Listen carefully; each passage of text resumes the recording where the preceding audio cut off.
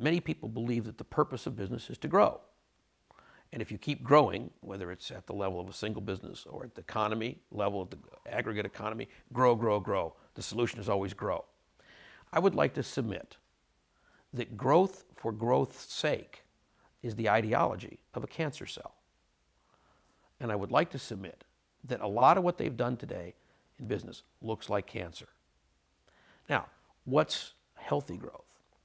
Healthy growth isn't multiplying just to multiply. It's multiplying because something needs to happen.